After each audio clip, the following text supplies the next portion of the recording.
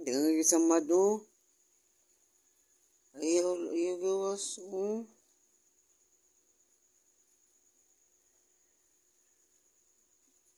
Hmm? hmm.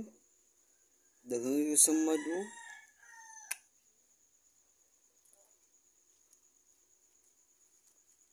Cuma kalagan ni mo dangang ribun o. Oh.